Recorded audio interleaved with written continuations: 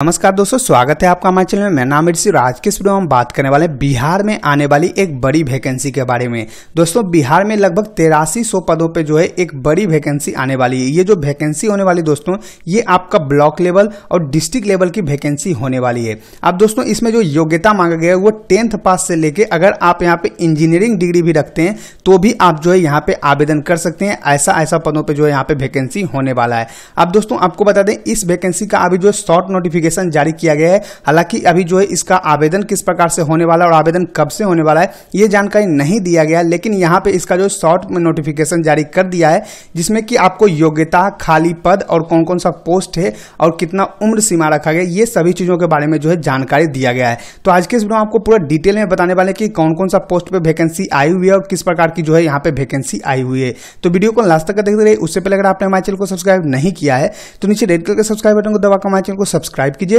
Like कीजिए इस video को जितना उसके शेयर कीजिए ताकि और भी लोग को जानकारी मिल सके। चलिए शुरू करते हैं अपना आज का वीडियो। दोस्तों, बिहार रूरल डेवलपमेंट सोसाइटी यानी कि ग्रामीण विकास विभाग की तरफ़ से जो है बड़ी वैकेंसी निकल के आ रही है। ये जो वैकेंसी होने वाली है दोस्तों, ये तेरासी पदों के लिए जो है ये वैकेंसी होने वाली है। यानी टोटल पोस्ट जो है वो तेरासी पोस्ट होने वाला है। अब इस वैकेंसी के बारे में आपको हम पूरा जानकारी देते हैं, साथ में इसका नोटिफिकेशन भी आपको दिखाएँगे। जो शॉर्ट नोटिफिकेशन जारी किया गया है, उसको भी आपको हम दिखाएँगे। दोस्तों, इस वैकेंसी के बारे में पूरी जानकारी लेने के लिए आपको जो सबसे पहले इस वेबसाइट पे आना होगा। इस वेबसाइट का लिंक आपको नीचे डिस्क्रिप्शन में मिल जाएगा या फिर आपको जो है गूगल में टाइप करना वाई टी डी जैसे ही आप टाइप कीजिएगा, आप जो है इस वेबसाइट पे चले आइएगा। इस वेबसाइट पे आने के बाद आपको जो नीचे आना है। नीचे आने के बाद लेटेस्ट पोस्ट आप लेटेस्ट अपडेट में या फिर आपको जो है लेटेस्ट जॉब ऊपर में आप जो यहाँ पे क्लिक कर सकते हैं। आपको जो सबसे पहला पोस्ट मिलेगा दोस्तों, वो मिलेगा Bihar rural development upcoming vacancy तो यहाँ पे आपको जो है क्लिक करना है। यहाँ पे जैसे ही आप क्लिक करते हैं दोस्तों दोस्तों तो आपको जो एक पोस्ट यहाँ पे ओपन होकर आएगा।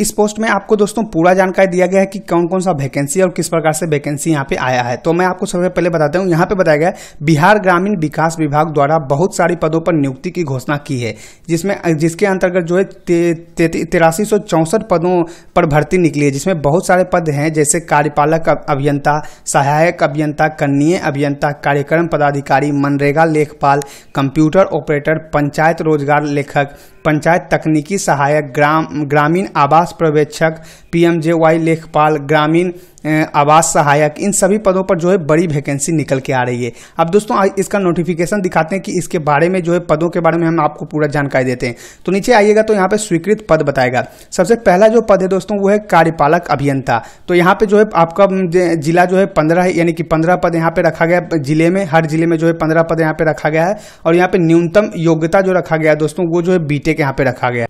सॉरी दोस्तों, यहाँ पे जो जिला है, यानी कि पंद्रह जिलों में जो है, यहाँ पे ये वैकेंसी निकल के आएगी और यहाँ पे जो है न्यूनतम योग्यता बीटेक रखा गया है। उसके बाद सहायक अभियंता, इसमें जो है छब्बीस ज़िले आए हैं, जिसमें कि आपको जो है डिप्लोमा इन इंजीनियरिंग में आपको खोजा जा रहा है। उसके बाद कन्नीय अभियंता, इसमें जो है प्रखंड में, दो सौ छब्बीस जो है प्रखंडों में यहाँ पे बहाली होने वाली है, जिसमें कि डिप्लोमा इन इंजीनियरिंग में आपको जो है खोजा गया है। उसके बाद दोस्तों, यहाँ पे कार्यक्रम पदाधिकारी, इसमें जो है प्रखंड एक है, जिसमें कि स्नातक, यानी कि ग्रेजुएशन आपका जो है खोजा जा रहा है। उसके बाद दोस्तों मनरेगा लेखपाल यहाँ पे प्रखंड दो है और यहाँ पे जो है स्नातक आपको जो है यहाँ पे कॉमर्स से होना चाहिए, यहाँ पे आपको दिखाई दे रहा है। उसके बाद दोस्तों यहाँ पे कंप्यूटर ऑपरेटर जो है, प्रखंड चार दो प्रखंडों में जो है यहाँ पे होने वाले कंप्यूटर ऑपरेटर के लिए, जिसमें कि आपको जो मैट्रिक उत्तीर्ण होना चाहिए, यानी कि आपको जो है टेंथ यहाँ पे क्वालिफिकेशन मांगा जा रहा है।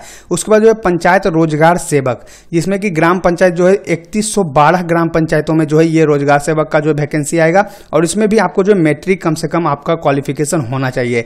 उसके बाद पंचायत तकनीकी सहायक यहाँ पे आया वैकेंसी यहाँ पे आपको जो ग्रामीण, ग्राम पंचायत जो है, तेरह से यानी तेरह ग्राम पंचायत में जो ये वैकेंसी आने वाली है, इसमें जो आपको डिप्लोमा इन इंजीनियरिंग आपका खोजा गया है।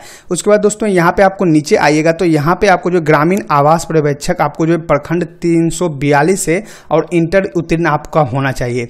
उसके बाद P M A Y G लेखपाल जो है, यहाँ पे प्रखंड 119 प्रखंडों में लेखपाल की जो है, ये वैकेंसी आई हुई है और इसमें जो है स्नातक, यानी आपको जो है ग्रेजुएशन जो है यहाँ पे कॉमर्स से मांगा गया है।